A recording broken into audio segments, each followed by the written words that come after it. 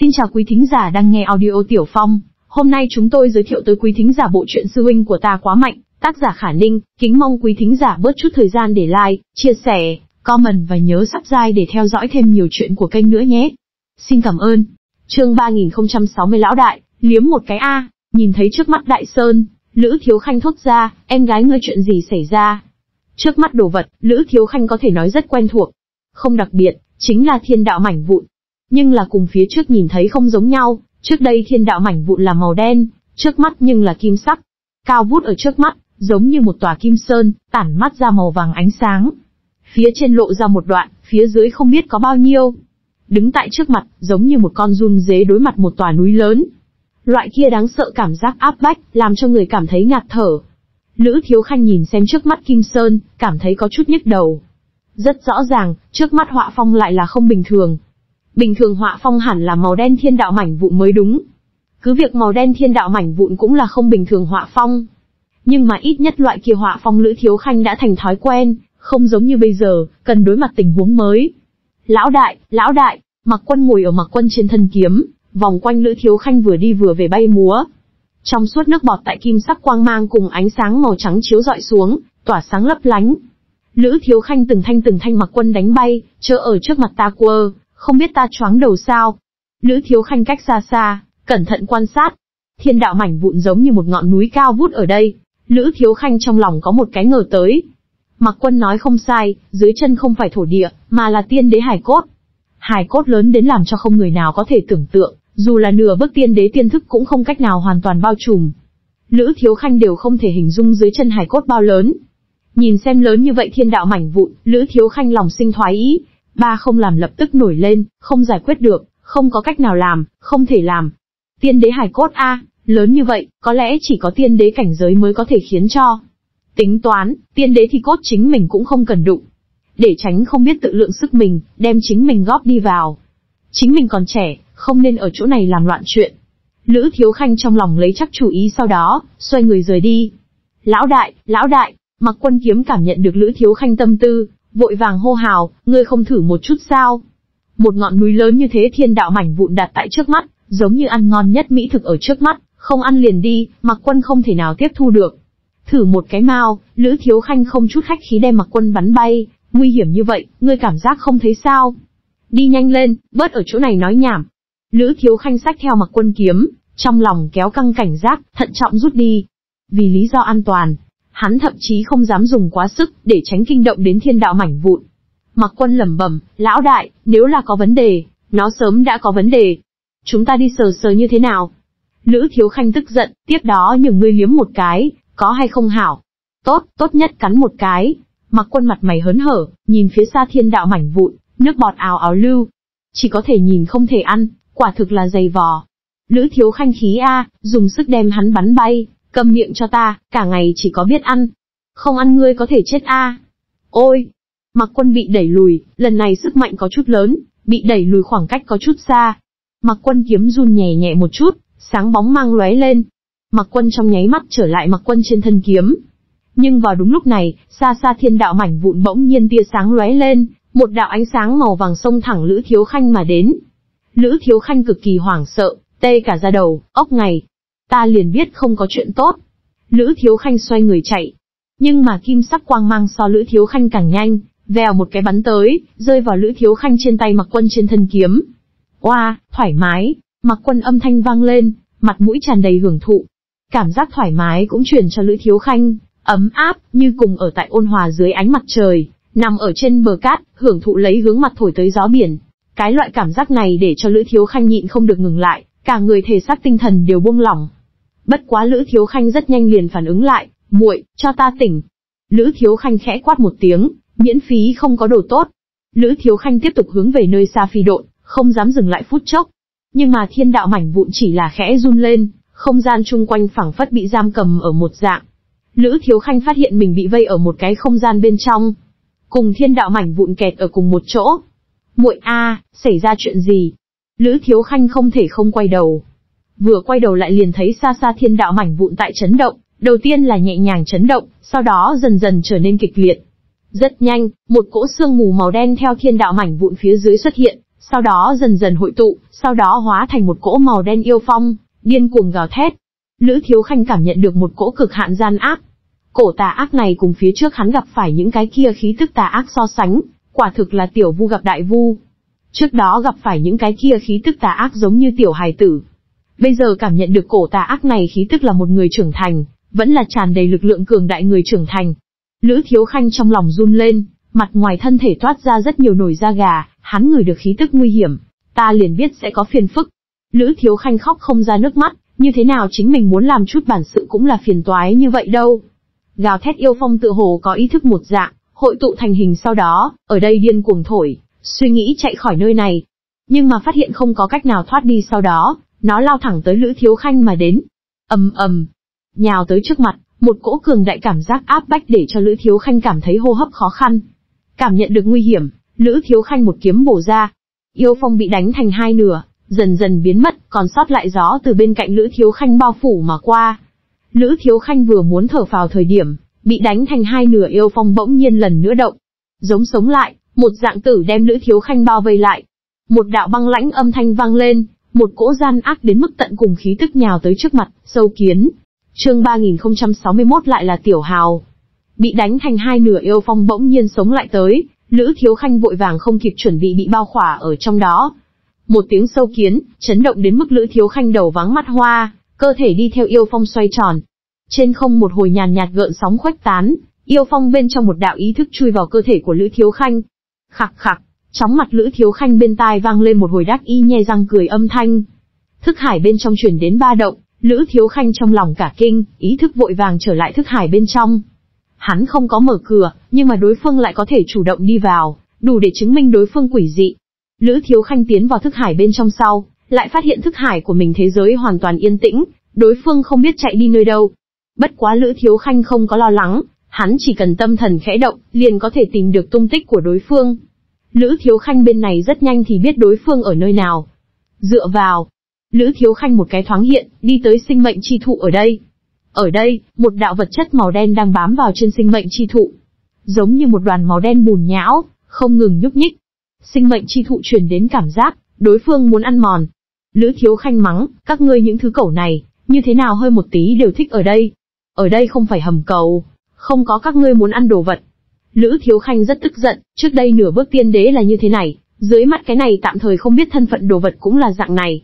Khiến cho hắn sinh mệnh chi thụ tựa như là bánh trái thơm ngon, chiêu phong dẫn điệp. Sâu kiến.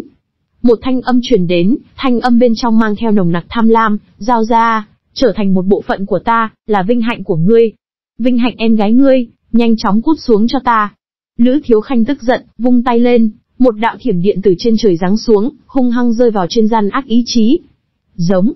Vật chất màu đen, tà ác ý chí phát ra tiếng kêu thảm âm thanh, cấp tốc từ sinh mệnh chi thụ bên trên thoát ly, mấy phen nhúc nhích phía dưới, biến thành một người đứng tại trước mặt Lữ Thiếu Khanh. Ốc ngày, Lữ Thiếu Khanh chỉ vào đối phương mắng to, ngươi muốn làm gì? Ngươi cũng hâm mộ ghen ghét ta xoáy khí sao? Gian ác ý chí hóa thành bộ dáng nhân loại không là người khác, chính là Lữ Thiếu Khanh dáng vẻ. Đứng tại trước mặt Lữ Thiếu Khanh, để cho Lữ Thiếu Khanh cảm thấy mình tại soi gương, giống nhau như đúc. Gian ác ý chí biến thành hình người sau đó, biểu tình trên mặt cứng nhắc, không có gì thay đổi, nhếch miệng nở nụ cười, cũng là hết sức kinh khủng, khạc khạc, sâu kiến, ngươi là ta, ở đây cũng là ta, nhìn thấy đối phương bộ dạng này, Lữ Thiếu Khanh liền giận không chỗ phát tiết, trà đạp chính mình anh Tuấn bộ dáng, ngươi chết cho ta. Lữ Thiếu Khanh lười nhác nói nhảm, trực tiếp rút kiếm liền chặt. Giữ dằn kiếm ý để cho kiếm quang nhìn giống như thái dương rơi xuống, cho gian ác ý chí mang đến cường đại áp bách. Giống. Gian ác ý chí cũng cảm nhận được áp lực, nổi giận gầm lên một tiếng, thể nội bốc lên một cỗ luân hồi sương mù, hóa thành một thanh trường kiếm lao ngược lên trên. Lữ Thiếu Khanh nhìn càng thêm là nổi trận lôi đình, cái gì đều phải học ta sao? Chết! Phốc! Kiếm quang rơi xuống, đem đối phương chặt thành hai nửa. Bất quá đối phương rất nhanh liền gây dựng lại, khí tức vẫn như cố âm u lạnh lẽo quỷ dị. Sau khi giao thủ, Lữ Thiếu Khanh lông mày đầu nhíu lại, dựa vào, là ngươi. a không đúng, ngươi quá yếu, cỗ khí tức này hắn đã gặp được. Phía trước lúc độ kiếp gặp phải đạo ý thức kia. Cùng trước mắt không sai biệt lắm, mặc dù không phải hoàn toàn tương tự, nhưng chính xác đồng căn đồng nguyên. Đến từ cùng một nơi. Chỉ có điều không giống với trước đây, trước mắt gian ác ý chí hơi yếu. Lữ Thiếu Khanh không nghĩ nhiều, rất nhanh hiểu được, Mã Đức, lại là Tiểu Hào. Tên trước mắt cũng là phía trên một cái tồn tại nào đó tiểu hào, hoặc có lẽ là có thể là trong miệng hắn người đại ca kia tiểu hào. Lữ Thiếu Khanh càng nổi giận hơn, kiếm chỉ lấy nó quát lên, tiểu hào tiểu hào, cả ngày mở tiểu hào, phá hư trò chơi hoàn cảnh. Các người bọn gia hỏa này sớm đã bị bị phong hào, không đúng, nhất định phải xóa nick mới được. Chính là các người bọn gia hỏa này, khiến cho nhân gia không có chút nào trò chơi thể nghiệm, loại này không đem người làm hành động của người ta nhất định phải ngăn cản. Gian ác ý chí nghe vậy, ánh mắt chuyển động một chút, lộ ra khinh thường, ngữ khí cũng là như thế, sâu kiến, không có tư cách nói chuyện. Nó nhìn chằm chằm Lữ Thiếu Khanh, liếm môi một cái, bộ kia chết dạng, thấy Lữ Thiếu Khanh nghĩ chém người. Thật là buồn nôn, hắn lúc nào làm qua loại này chán ghét động tác. Hắn cũng không phải cẩu. Đáng giận, Lữ Thiếu Khanh giận đến lần nữa ra tay. Màu đen vật tư tự nhiên muốn ngăn cản, bất quá nó ngăn cản không nổi, bị đánh thành hai nửa. Nhưng mà, nó lại là nhẹ nhõm khôi phục, khí tức cũng chỉ là yếu bớt một chút. Điểm này yếu bớt, có thể nói là xem nhẹ không thấy, nó chỉ cần hơi khôi phục liền có thể như lúc ban đầu. Dựa theo tiếp tục như vậy, Lữ Thiếu Khanh chặt nó cả một đời đều chặt không chết. Gian ác ý chí cũng biết điểm này, gây dựng lại cơ thể sau đó, trên mặt lộ ra nụ cười chế nhạo, ngu xuẩn sâu kiến. Ngươi làm sao có thể biết thần lợi hại? Ta đứng ở chỗ này, ngươi cũng không làm gì được ta. Lữ Thiếu Khanh phát hiện biểu tình của đối phương đã rất sinh động, cùng vừa rồi cứng ngắc tưởng như hai người. Bây giờ, đối diện tựa hồ chân chính đứng một cái hắn. Ta dựa vào, sẽ không tới thời điểm làm ra một cái thật giả Mỹ Hầu Vương A. Lữ Thiếu Khanh nghĩ đến chỗ này, ánh mắt trở nên hung hăng, xem ra hôm nay nhất định phải giết chết ngươi mới được. Gian ác ý chí thèm thân thể của hắn, đây là tuyệt đối không thể dễ dàng tha thứ. Nhưng mà gian ác ý chí căn bản không sợ, đối mặt Lữ Thiếu Khanh tiến công, nó dứt khoát không tránh né, cứ như vậy đứng, tùy ý Lữ Thiếu Khanh chặt nó. Mấy lần đi qua, khí tức của nó chưa từng yếu bớt. Nó cười đắc ý, khặc khặc, sâu kiến, đừng uổng phí tâm cơ, cho ngươi một triệu năm cũng ngươi không làm gì được ta. Ta là thần, không gì không thể thần, ngươi nhất định sẽ trở thành một bộ phận của ta, khặc khặc. Sau khi nói xong, nó trực tiếp nhào về phía Lữ Thiếu Khanh, cơ thể kéo dài, giống như trường xà một dạng, hướng về Lữ Thiếu Khanh xoắn tới. Lữ Thiếu Khanh thấy cảnh này, nổi trận lôi đình, em gái ngươi, ngươi biến trở về đi, đừng cầm ta bộ dáng tới làm trừ tượng. Khặc khặc, gian ác ý thức cười lớn, đem Lữ Thiếu Khanh quấn lên, đầu lại ngả vào Lữ Thiếu Khanh trước mặt, nhẹ nhẹ theo dõi hắn. chương 3062 ngươi còn có thủ đoạn khác sao? Gian ác ý thức đem đầu ngả vào Lữ Thiếu Khanh trước mặt, cơ thể lại là đem Lữ Thiếu Khanh cuốn lấy gắt gao. Giống như một con rắn độc cuốn lấy con mồi. Lữ Thiếu Khanh nhìn thấy trước mặt mình đầu, giận tử trong lòng tới, hận không thể đem hắn trước mắt đầu chó cho nện bạo. Cứ việc bề ngoài là chính mình đầu chó, Hắn nhìn đối phương trong mắt trêu tức, còn có cái kia nhàn nhạt khinh thường, Lữ Thiếu Khanh liền biết đối phương không có đem hắn để vào mắt, hết thảy đều là đang trêu đùa hắn. Lữ Thiếu Khanh cắn răng, ra vẻ phẫn nộ, người đến cùng là ai? Lữ Thiếu Khanh mặc dù từng có ngờ tới, nhưng hết thảy đều là ngờ tới, không có ai nói cho hắn biết đáp án chính xác.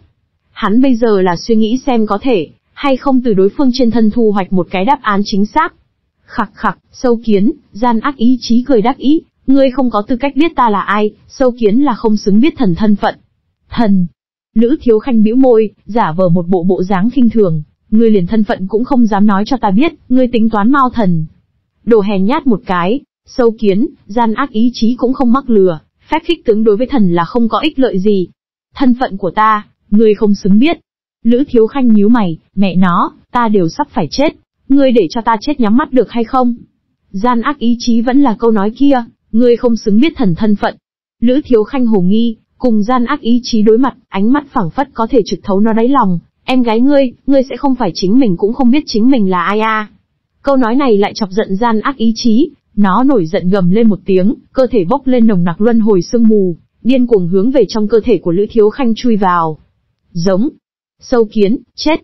Khí tức âm lãnh truyền vào thân thể của mình, xâm nhập linh hồn, lệnh Lữ Thiếu Khanh dùng mình một cái, Đồng thời cũng rõ ràng chính mình ngờ tới không tệ. Gian ác ý chí liên tục chính mình là ai cũng không biết. Lữ Thiếu Khanh nổi giận, dựa vào, ngươi cái gì cũng không biết, ngươi nói sớm. Làm hại ta ở đây chịu nhục. Gian ác ý chí cười lạnh một tiếng, ngu xuẩn sâu kiến, sắp chết đến nơi còn dám ở đây khẩu suất cùng ngôn. Lữ Thiếu Khanh lại là nhếch miệng nở nụ cười, ánh mắt trở nên hung hăng, sắp chết đến nơi. Ngươi nói ngươi chính mình sao?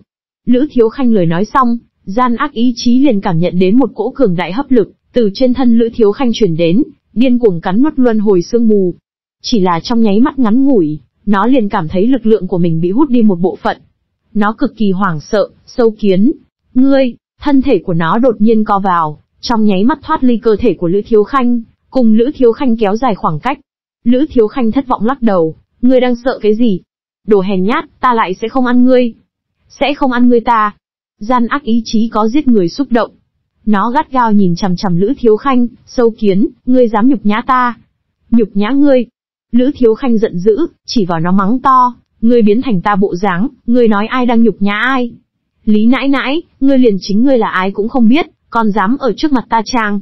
Như thế nào? Cho ngươi mở tiểu hào thời điểm, không có thực danh đăng ký. Lữ Thiếu Khanh vừa nói vừa nhe răng trợn mắt, tối mẹ nó chán ghét các ngươi loại này, mở tiểu hào cũng được, còn dám không có dám nhận. Sợ hàng, túng bức, đồ hèn nhát, còn có mặt mũi hô nhân ra sâu kiến. Sâu kiến như thế nào? Sâu kiến có loại, ngươi đây. Ngay cả một cái mao cũng không tính là. Lữ Thiếu Khanh đem gian ác ý chí tức giận lần nữa giống giận, giống. Lữ Thiếu Khanh lời nói như dao chọc vào trên người nó, để nó giận không kìm được. Đáng chết sâu kiến, ta nhất định phải giết ngươi. Giết ta. Lữ Thiếu Khanh không nói nhảm, ta trước tiên chém chết ngươi. Một kiếm hạ xuống, lần nữa đem gian ác ý chí chém thành hai khúc. Gian ác ý chí rất nhanh lại khôi phục, nhìn thấy Lữ Thiếu Khanh không làm gì được chính mình. Cười gằn, ngu xuẩn sâu kiến, ngươi mặc dù rất mạnh, nhưng mà ngươi giết không được ta. Sâu kiến, mãi mãi cũng giết không được thần. Đi chết. Sau khi nói xong, gian ác ý chí lại độ nhào tới, nó chưa từ bỏ ý định, nhất định phải nếm thử một dạng. Âm u lạnh lẽo khí tức quỷ dị nhào tới trước mặt, lần nữa đem Lữ Thiếu Khanh bao khỏa. Nhưng mà rất nhanh, nó không thể không lần nữa thoát đi bên cạnh Lữ Thiếu Khanh. Giống, đáng chết sâu kiến. Gian ác ý chí tức giận gầm thét. Nó thế mà không làm gì được Lữ Thiếu Khanh. Lữ Thiếu Khanh thôn phệ năng lượng so với nó càng hơn một bậc, để nó cảm thấy chết lặng. Đến cùng ai mới là thần? Lữ Thiếu Khanh hồ nghi đánh giá gian ác ý chí, ngươi là giả mạo a. Ngươi có phần cũng quá thái đi. Không giống với độ kiếp khi đó gặp phải, trước mắt gian ác ý chí mặc dù tản ra khí tức không sai biệt lắm, nhưng mà đánh nhau không đủ hắn Lữ Thiếu Khanh nhìn. Lữ Thiếu Khanh trong lòng không nhịn được cô, ta đã mạnh đến tình trạng này sao? Nhưng mà Lữ Thiếu Khanh biết, hắn mạnh là một chuyện, đối phương nhưng lại rất yếu. Ngoại trừ sinh mệnh lực mạnh một chút, có vẻ như không có đường sở trường. Giống, gian ác ý chí nổi giận gầm lên một tiếng, cắn răng, nếu không phải là ta bị chấn áp vô số năm, chỉ bằng ngươi một cái nho nhỏ sâu kiến, còn chưa xứng ở trước mặt ta phách lối. Ai nha, sắp chết đến nơi còn dám mạnh miệng. Lữ Thiếu Khanh không nói hai lời lần nữa huy kiếm liền chặt. Khặc khặc, gian ác ý chí giận quá mà cười, ngươi cũng không có thủ đoạn khác sao. Chỉ bằng ngươi dạng này, ngươi cả một đời cũng giết không được ta. Sau đó, nó lao thẳng tới xa xa sinh mệnh chi thụ. Nó rất rõ ràng, chỉ cần thôn vệ sinh mệnh chi thụ, Lữ Thiếu Khanh cũng nhảy nhót không được bao lâu. Sâu kiến ngươi chờ ta, gian ác ý chí cơ thể nhúc nhích, lại độ kéo dài, giống xà leo lên sinh mệnh chi thụ bên trên. Sâu kiến, ngươi giết không được ta, nhưng ta có thể thôn phệ ngươi. Gian ác ý chí âm thanh mang theo đắc ý, cảm thấy chính mình nắm vững thắng lợi. Chỉ là một con run dế, còn không phải nhẹ nhõm nắm. Lữ Thiếu Khanh nhìn xem gian ác ý chí hóa thành hình dạng của mình, giống con rắn chết ghé vào phía trên, muốn nhiều khó coi liền có nhiều khó coi. Hừ. Lữ Thiếu Khanh lạnh rên một tiếng, trên bầu trời, hắc bạch sấm sét oanh minh xuống. 3063 chương không thể trêu vào, trước tiên trốn ầm ầm, hắc bạch sấm sét rơi xuống, gần như không phân tuần tự rơi vào trên sinh mệnh chi thụ, hung hăng bổ vào quấn quanh ở phía trên gian ác ý thức. Tiếng vang bên trong, sinh mệnh chi thụ run lên, giống như xoa bóp một dạng, cành lá vũ động, tựa hồ rất thoải mái. Đồng căn đồng nguyên, hắc bạch sấm sét sẽ không đối với sinh mệnh chi thụ tạo thành nửa điểm tổn thương. Mà gian ác ý thức thì không giống nhau. Nó phát ra tiếng kêu thảm thiết thê lương, cơ thể tại thiểm điện oanh kích phía dưới chia năm xẻ bảy, vô số vật chất màu đen tại thiểm điện bên trong tiêu tan. Giống, gian ác ý thức cơ thể ở phía xa gây dựng lại. Thân thể của nó đã thu nhỏ hơn phân nửa, bây giờ nó giống như tiểu hài tử một dạng lữ thiếu khanh. Nó trong mắt để lộ ra hoảng sợ, không thể tin được nhìn qua lữ thiếu khanh. Lâu, sâu kiến, ngươi, ngươi, lữ thiếu khanh cười tủm tỉm, ngươi cái gì ngươi? Như thế nào, thủ đoạn của ta, tạm được. Giống, gian ác ý thức suýt chút nữa thì phát ra sắc bén tiếng nổ đùng đoàng. Ngươi, ngươi, không có khả năng. Gian ác ý thức không thể tin được, đệ nhất quang tự cùng đệ nhất ám liệt, ngươi, ngươi một con run dế làm sao có thể nắm giữ. Ngươi, ngươi không xứng, một, nhất định là trùng hợp, huyễn, ảo giác, gian ác ý chí có chút sụp đổ, thế giới quan sụp đổ, không thể tin được chuyện mình thấy. Ảo giác. Lữ Thiếu Khanh cười hắc hắc, lần nữa vung tay lên. ầm ầm, hắc bạch sấm sét lại độ từ trên trời giáng xuống, oanh minh xuống, hung hăng rơi xuống, giống như ác lang nhào về phía bé thỏ trắng một dạng. Giống, gian ác ý thức dọa đến linh hồn rét run, hét lên một tiếng, xoay người bỏ chạy. Nhưng mà đây là lữ thiếu khanh thế giới, nó không chỗ có thể trốn. Không có chạy bao xa nó liền bị hai tia chớp lần nữa bổ đến chia năm xẻ bảy. Phía trước nó bị lữ thiếu khanh bổ một lần lại một lần đều vô sự, năng lượng bản nguyên không có bị tiêu hao. Bây giờ, nó bị hắc bạch sấm sét đánh cho toàn thân xương vỡ, bản nguyên theo cơ thể vỡ nát tiêu tán. Nó những năng lượng kia đều bị hắc bạch sấm sét tịnh hóa, bị lữ thiếu khanh thôn phệ hấp thu. Chỉ là hai cái hiệp, gian ác ý thức đã trở nên vô cùng suy yếu, giống, nó nổi giận gầm lên một tiếng sau đó, xoay người bỏ chạy cách nơi này. Nó trong lòng vô cùng phẫn hận, hận ý ngập trời. Vốn cho rằng Lữ Thiếu Khanh không làm gì được nó, suy nghĩ thôn vệ thế giới này sau đó, lại đi ra báo thù. Vạn vạn không nghĩ tới Lữ Thiếu Khanh lại có thủ đoạn như vậy. Gian ác ý thức trong lòng hối tiếc không kịp, hung hăng chửi mình là đồ con lợn. Có thể sáng tạo một cái thế giới mới, khẳng định có chút thủ đoạn. Nhưng mà hối hận cũng vô dụng, gian ác ý thức bây giờ chỉ muốn chạy đi. Đến nỗi ở đây, sau này lại nghĩ biện pháp thôn phệ. Đánh chủ ý như thế, gian ác ý thức cấp tốc hướng về nơi xa thoát đi. Nó chỉ muốn cách Lữ Thiếu Khanh càng xa càng tốt. ầm ầm, hắc bạch sấm sét lại độ rơi xuống. Tại thiểm điện đánh chúng nó phía trước, thân thể của nó đột nhiên nổ tung, hóa thành vô số cỗ thật nhỏ yêu phong, màu đen yêu phong vèo một cái, hướng về bốn phương tám hướng chạy trốn. Chui vào giữa thiên địa, trốn vào bên trong lòng đất. Lữ Thiếu Khanh lắc đầu, không có chút nào ý mới thủ đoạn. Hắn phóng khai tâm thần, thao túng trong thiên địa sức mạnh. ầm ầm, giữa thiên địa mây đen dày đặc, trong tiếng nổ vang, từng đạo sấm sét rơi xuống. Bên tai tựa hồ vang lên từng tiếng tiếng kêu thảm thiết. Gian ác ý thức tiếng kêu rên liên hồi, nó những cái kia phân thân, hóa thân tại thiểm điện bên trong hôi phi yên diện. Lữ Thiếu Khanh một bước thoáng hiện, xuất hiện tại một nơi nào đó. Ở trước mặt hắn, không gian nhộn nhạo gợn sóng, cuối cùng một đạo gian ác ý thức liền trốn ở chỗ này, suy nghĩ tìm cơ hội hướng mặt ngoài đào tẩu. Lữ Thiếu Khanh cười lạnh, hướng về phía hư không chính là một ngón tay. ầm ầm, hắc bạch sấm sét xông thẳng hư không mà đi. Giống, luân hồi sương mù lan lộn, chặn tia chớp màu đen, nhưng mà tia chớp màu trắng như vào chỗ không người, nhẹ nhõm đánh tan gian ác ý thức cuối cùng ngăn cản. Sâu kiến, gian ác ý thức kêu thảm, phát ra không cam lòng gầm thét, nếu như không phải ta thụ thương, ngươi tuyệt đối không phải là đối thủ của ta. Kêu la cái gì, Lữ Thiếu Khanh gia tăng sức mạnh, sắp chết đến nơi còn tại mạnh miệng. Khi sấm sét đi qua, ở đây thiên địa một mảnh thanh minh, trong vũ trụ nước mưa tiếp tục tí tách tí tách rơi xuống. Một đoàn ánh sáng trắng toát phiêu phù ở trước mặt Lữ Thiếu Khanh. Đây là gian ác ý thức bị tiêu diệt, tịnh hóa sau đó lưu lại tinh thuần năng lượng. Lữ Thiếu Khanh hài lòng gật đầu, gian ác ý thức mặc dù nói nó bị thương, nhưng nó năng lượng trong cơ thể vẫn là rất khổng lồ. Không so với phía trước độ kiếp thời điểm đó đạo ý thức kia kém, Năng lượng không sai biệt lắm, nhưng mà cả hai thực lực chênh lệch quá xa.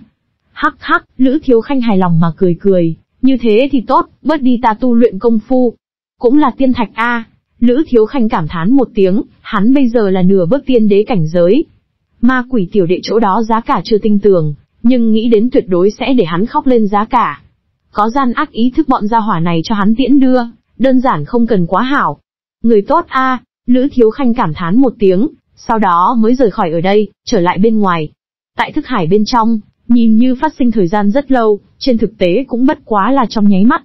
Thu thập xong gian ác ý thức sau đó, Lữ Thiếu Khanh ánh mắt rơi vào xa xa thiên đạo mảnh vụn bên trên.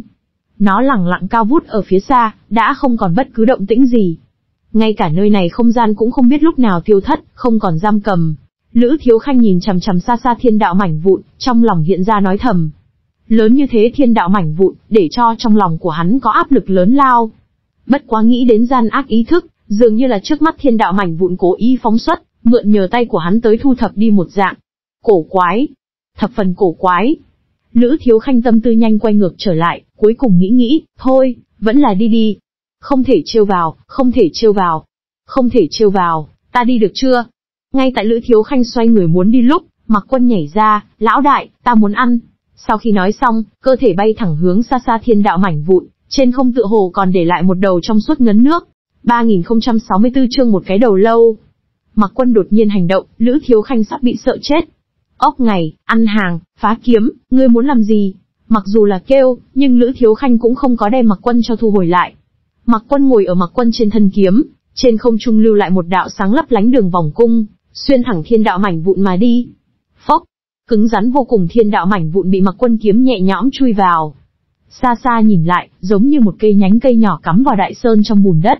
Thiên đạo mảnh vụn tia sáng lớn tránh, sau đó dần dần co vào, tại trong lữ thiếu khanh ánh mắt cảnh giác, lớn như vậy kim sơn một mực thu nhỏ, cuối cùng thu nhỏ đến chỉ có đầu lớn tiểu nhân bộ dáng. Treo ở mặc quân kiếm trên mũi kiếm. Lữ thiếu khanh cảnh giác tới gần, đem híp mắt, tựa hồ uống say mặc quân nhấc lên. Như thế nào? Có cái gì cảm giác xấu sao?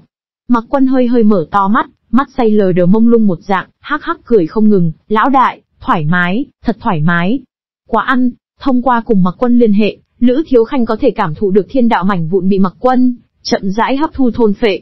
Cũng không có cái khác không thích hợp cảm giác. Lữ Thiếu Khanh vẫy tay, mặc quân kiếm rơi vào trên tay. Cảm thấy cơ thể trầm xuống, kém chút không tiếp nổi mặc quân kiếm. CMN, nặng như vậy. Lữ Thiếu Khanh quơ quơ mặc quân kiếm. Cảm giác nặng nề để cho hắn nghĩ đến trong tay sách theo một tòa núi lớn.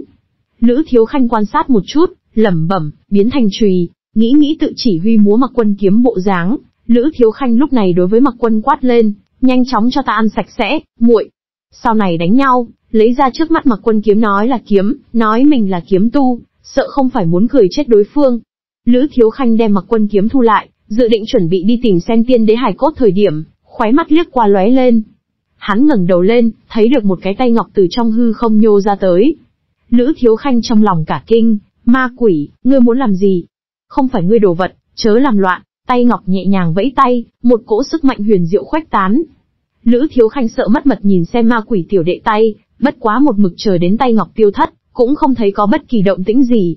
Lữ Thiếu Khanh vừa muốn thở vào thời điểm, dưới chân bỗng nhiên bắt đầu chấn động.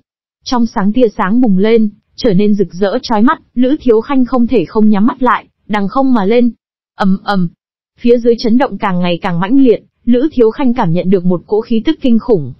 Cỗ khí tức này để cho Lữ Thiếu Khanh toàn thân run rẩy, chân chính có một loại sâu kiến gặp được thần đồng dạng cảm giác. Một loại cao cấp hơn sinh mệnh tồn tại để cho hắn cảm nhận được sợ hãi, linh hồn cấp độ bên trên sợ hãi. Đến cùng là cái gì? Còn có nhân vật càng đáng sợ. Lữ Thiếu Khanh trong lòng kêu to, nhưng mà hắn không gấp thoát đi, mà là hơi hơi mở to mắt, nhìn phía dưới. Phía dưới chấn động, không giống đại địa vỡ tan, dung nham lăn lộn đi ra, mà là chỉnh thể đều tại chấn động. Thấy cảnh này, trong lòng có một cái ngờ tới, Lữ Thiếu Khanh tê cả ra đầu, không thể nào, tiên thức khẽ quét mà qua, phía dưới chấn động đang thu nhỏ lại, cũng tại lên cao. Rất nhanh, tiên thức có thể bao trùm phía dưới. Một cái đầu lâu, khô lâu to lớn đầu. Lữ Thiếu Khanh tê cả ra đầu, vẫn cho là phía dưới trắng loãng chính là đại địa. Vạn vạn không nghĩ tới là vật này. Thiên địa mảnh vụn cắm ở trên đầu lâu, hắn Lữ Thiếu Khanh cũng dẫm ở trên đầu lâu. Bây giờ đầu lâu thu nhỏ sau đó, hắn mới có thể dòm ngó toàn cảnh. Tiên đế hải cốt là một cái đầu lâu sao? Phía dưới đầu lâu đang không ngừng lên cao, hắn cũng chỉ có thể đi lên phía trên. Lữ Thiếu Khanh từ dưới đất lên trên lao ra, dưới chân chính là chấn động oanh minh, thu nhỏ lên cao đầu lâu theo sát phía sau. Bên trên đại địa, kế ngôn bọn người toàn bộ đều tụ ở một chỗ, chờ đợi Lữ Thiếu Khanh. Lữ Thiếu Khanh tại trong bọn hắn tiên thức đã tiêu thất, bọn hắn chỉ biết là Lữ Thiếu Khanh chui vào phía dưới mặt đất, nhưng lại không biết Lữ Thiếu Khanh muốn đi làm gì. Tiêu y lẩm bẩm, nhị sư huynh xuống làm gì? Thân là đồng hương, quản vọng thứ nhất nói ra chính mình ngờ tới, tiểu tử khốn kiếp, sẽ không phải là đi đào tiên đế hải cốt a Đám người không nói gì, liền xem như kế ngôn, tiêu y cũng nói không ra phản đối ngữ. Loại chuyện này người khác có thể sẽ không làm, cũng không dám đi làm. Lữ thiếu khanh khác biệt, người khác dám làm sự tình, hắn dám làm, chuyện không dám làm, hắn càng thêm sẽ làm. Nói đến tiên đế hải cốt, quản vọng tiêu y bọn người ánh mắt rơi vào cách đó không xa trên thân loan sĩ. Đối với nơi này hiểu rõ rõ ràng nhất không thể nghi ngờ là loan sĩ. Đối mặt ánh mắt của mọi người, loan sĩ nhắm mắt lại, không nhìn thẳng, hắn nhưng không có đem bọn gia hỏa này để vào mắt. Tiêu y hiếu kỳ tiến tới, tiền bối, phía dưới là tiên đế hải cốt sao. Loan sĩ nhắm mắt dưỡng thần, chỉ coi nghe không được. Tiêu y thấy thế không nhịn được thầm thì, xem ra là không biết, thua thiệt nhị sư huynh còn đối với hắn coi trọng mấy phần đâu. Hiện tại xem ra cũng bất quá như thế. Phép khích tướng. Loan sĩ tiếp tục lựa chọn không nhìn. Tiêu y tiếp tục nói, hắc, đến lúc đó đem chuyện này nói cho nhị sư huynh, nhị sư huynh nhất định sẽ nói hắn là cái đồ nhà quê, ngô, cứ như vậy đi. Tiêu y lời nói truyền vào loan sĩ trong tai, loan sĩ nhịn không được. Người khác hắn có thể không quan tâm, nhưng Lữ Thiếu Khanh không thể được. Hắn cũng không thể cho Lữ Thiếu Khanh nói xấu hắn cơ hội. Không chắc đến lúc đó sẽ như thế nào bố trí hắn. Hắn mở to mắt, hừ một tiếng, tiên đế hải cốt, không phải hắn có thể đụng. Ai đụng ai chết, loan sĩ ánh mắt lóe lên một tia khinh thường. Hắn biết tiên đế hải cốt tồn tại, nhưng hắn cũng không dám đi đụng vào. Phàm là cùng tiên đế dính vào quan hệ đều không phải là loại lương thiện. Tiêu y nghe vậy, cười hắc hắc, ngươi đừng xem nhẹ ta nhị sư huynh. Tiên đế hải cốt mà thôi, người khác không thể chạm vào, không có nghĩa là ta nhị sư huynh không thể chạm vào. Loan sĩ cười lạnh một tiếng, nếu như là dạng này, các ngươi chờ lấy nhặt xác cho hắn a. lời còn chưa nói hết, phía dưới thổ địa bỗng nhiên bắt đầu chấn động, trong tiếng nổ vang đại địa rời đi, lộ ra sâu u không gian, cho mọi người một loại cảm giác áp bách mạnh mẽ. 3065 chương tiên đế đầu người. Cảm giác áp bách mạnh mẽ phẳng phất là từ địa ngục tràn ra một dạng, khí tức vô hình xung kích phía dưới, tiêu y, quản vọng mấy người nhao nhao thổ huyết. Kế ngôn vung tay lên, đem bọn hắn mang rời khỏi tại chỗ, xuất hiện ở phía xa. Ở phía xa, bọn hắn có thể nhìn càng thêm thêm tinh tường. Bọn hắn vừa rồi chỗ trên mặt đất xuất hiện một cái cực lớn hang động, sâu không thấy đáy, đen như mực u ám. phẳng phất nối thẳng địa ngục. Khí tức vô hình để cho thiên địa sinh ra nhăn nheo. Cái kia, đó là cái gì? Tiêu y nhìn qua kế ngôn, đại sư huynh. Kế ngôn sắc mặt nghiêm túc, nếu như đoán không lầm, là tiên đế hải cốt. Để cho nửa bước tiên đế cũng nhịn không được run rẩy khí tức, ngoại trừ tiên đế không có người khác. Tiên đế khí tức sao? Quản vọng bọn người trong lòng đột nhiên run lên, trong lòng sinh ra vô cùng sợ hãi. Tiên đế a, lấy tiên đế thực lực, tùy tiện một điểm khí tức đều có thể đem bọn hắn đánh thành cho. Lữ Thiếu Khanh thật sự chạy tới đào tiên đế hải cốt. Quản vọng cắn răng, trên mặt thịt mỡ run rẩy, nương, nương, tiểu tử khốn kiếp coi là thật đi làm. Hắn, hắn còn không biết xấu hổ nói chuyện thất đức không làm. Kế ngôn liếc mắt nhìn hắn, hắn lời nói ngươi cũng tin. Quản vọng sâu đậm cảm nhận được mình đơn thuần. ầm ầm, Đại địa chấn động, bùn đất lăn lộn, trong sáng tia sáng từ dưới đất bắn ra, xuyên thủng mặt đất màu đen, đem phương thiên địa này chiếu sáng thông thấu. Ta, chúng ta sẽ chết sao? Cảm nhận được giữa thiên địa tràn ngập khí tức đáng sợ, ân minh ngọc tê cả ra đầu, bờ môi run rẩy. Cắt, sợ cái gì? Tiêu y mặc dù cũng là khống chế không nổi thân thể của mình run rẩy, nhưng mà không trở ngại nàng khinh bỉ ân minh ngọc, có cái gì tốt lo lắng. Không phải liền là chỉ là, cảm thấy tiên đế cũng dùng chỉ là để hình dung có chút quá mức, Tiêu y bĩu môi một cái nhảy qua, có cái gì tốt sợ. Có Lữ Thiếu Khanh, kế ngôn ở đây, tiêu y chưa sợ qua. Thiếu khoác lác, ân minh ngọc tức chết, nếu như là tiên đế, ngươi chắc chắn chết chắc. Gia hỏa không có lễ phép, nhân gia thứ nhất muốn giết chết ngươi. Đây là tiên đế, không phải trong miệng ngươi chỉ là. Đáng sợ như vậy khí tức, sợ không phải nhị sư huynh ngươi đã sớm. Tiêu y không có sinh khí, ngược lại cười lạnh nhìn xem nàng, giống như nhìn đồ nhà quê một dạng, vẫn là câu nói kia, Ngươi đối với ta nhị sư huynh lợi hại hoàn toàn không biết gì cả. Tại tiêu y trong lòng, người khác xảy ra vấn đề, Lữ Thiếu Khanh đều khó có khả năng xảy ra vấn đề. Ân Minh Ngọc cũng đáp lại cười lạnh, ha ha, lợi hại. Đây là tiên đế, không là bình thường nhân vật, chẳng lẽ hắn còn có thể khống chế tiên đế hay sao? Tiên đế khí tức so với nửa bước tiên đế khí tức cường đại rất rất nhiều. Một trăm cái nửa bước tiên đế cộng lại cũng không kịp tiên đế một đầu ngón tay. Ân Minh Ngọc cảm thấy Lữ Thiếu Khanh sẽ có phiền toái rất lớn. Nói không chừng sẽ giống loan sĩ nói như vậy, chết đều không nhất định. Ân Minh Ngọc trong lòng mặc dù cảm kích Lữ Thiếu Khanh, nhưng lý trí để cho nàng lúc nói chuyện sẽ theo sự thật xuất phát, căn cứ vào sự thật tới làm ra phán đoán. Huyền học duy tâm cái gì, không thích hợp nàng. Quản vọng cao mày, vì mình tiểu lão hương lo lắng, hắn thấp giọng mắng, hỗn đản, quả thực là làm ẩu. Tiên đế hải cốt, ngươi tùy tiện dây vào sở, muốn chết a? Gan to bằng trời, tùy ý làm vậy, Quản vọng nhìn về phía kế ngôn, có biện pháp gì không? Tiên đế hải cốt, cho dù là hải cốt, cũng là tiên đế. Mãnh hổ chết đi cũng không phải con kiến có thể thèm thuồng. Kế ngôn thản nhiên nói, yên tâm, hắn tự có chừng mực. Tiên đế hải cốt đột nhiên động, ngoại trừ Lữ Thiếu Khanh, kế ngôn nghĩ không ra còn có ai đánh bại được. ầm ầm càng ngày càng mãnh liệt, đại địa lăn lộn đến càng ngày càng lợi hại. Bỗng nhiên nơi xa một thân ảnh từ dưới đất lao ra. Tiêu y chú ý tới sau, nhịn không được hô lên âm thanh, là nhị sư huynh. Đang lúc mọi người cảm giác phía dưới, Lữ Thiếu Khanh sông lên trời, tại hắn phía dưới, chính là quang mang mãnh liệt. Tại trong ánh sáng vô số bùn đầu hòn đá nhao nhao tiêu thất. Đám người cũng phát hiện vừa rồi bọn hắn vị trí chỗ, ở hắc ám động sâu đang thu nhỏ lại, tia sáng dần dần chiếm giữ. Đợi đến bọn hắn tiên thức có thể dọ thám biết thời điểm, quản vọng bọn người nhịn không được tê cả ra đầu. Là, là con mắt. Chúng ta mới vừa nhìn thấy là khô lâu hốc mắt. Một khỏa đầu lâu, chẳng lẽ là tiên đế đầu người? Cho dù là kế ngôn, loan sĩ trên mặt cũng lộ ra biểu tình khiếp sợ. Tiên đế đầu người. Ai có thể đem tiên đế đầu người chặt đi xuống, chôn ở chỗ này. Vị này tiên đế gặp cái gì dạng địch nhân đáng sợ. Theo tia sáng càng ngày càng mãnh liệt, đầu lâu không ngừng thu nhỏ đầu lâu triệt để lộ ra ở trước mặt mọi người. Một khỏa hoàn chỉnh đầu người xuất hiện ở trước mặt mọi người, trắng noãn như ngọc, tản mắt ra hào quang chói sáng, tràn ngập thần thánh cùng cường đại. Một màn này là kinh người, cho dù là kế ngôn, loan sĩ hai vị nửa bước tiên đế cũng là khiếp sợ không thôi. Tiên đế đầu người. Kế ngôn nhìn phía xa, một vị chết đi lại bị người chặt đầu xuống tiên đế, không biết vì cái gì, trong lòng của hắn đột nhiên tê dần, sinh ra một cỗ bi thương. Không biết vì cái gì, đau lòng cùng bi thương chính là đột nhiên như vậy xuất hiện. Kế ngôn lẳng lặng nhìn, không có làm cái gì. Hắn không biết mình vì sao lại hữu tâm đau cùng bi thương. Nhưng hắn biết, hắn hiện tại không làm được cái gì. Tiên đế đều bị chặt đầu, chết đến mức không thể chết thêm. Hắn cái này cái gọi là nửa bước tiên đế như thế nào đi nữa cũng vô dụng. Ánh mắt của hắn dần dần trở nên sắc bén, trở nên mạnh mẽ hai chữ giống như một mồi lửa trong lòng hắn thiêu đốt lên, để cho hắn tâm càng ngày càng kiên định, chỉ có cố gắng tu luyện, ra sức trở nên mạnh mẽ hắn mới có thể đi tìm nguyên nhân, mới có thể đi cùng không biết địch nhân chiến đấu, mới có thể đi tìm được chân tướng. Ta nhất định sẽ trở nên càng thêm mạnh. Nhưng mà, kế ngôn trong lòng lại nhịn không được sinh ra một cái ý niệm. Địch nhân đáng sợ như vậy, hắn có thể đánh được sao? Tiên đế đều đánh không lại, hắn có thể làm được sao?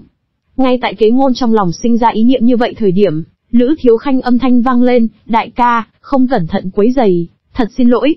Ta sau khi trở về cho ngươi bao nhiêu điểm nguyên bảo ngọn nến, ngươi phải đẹp tiên nữ tỷ tỷ không? Cũng có thể đốt điểm,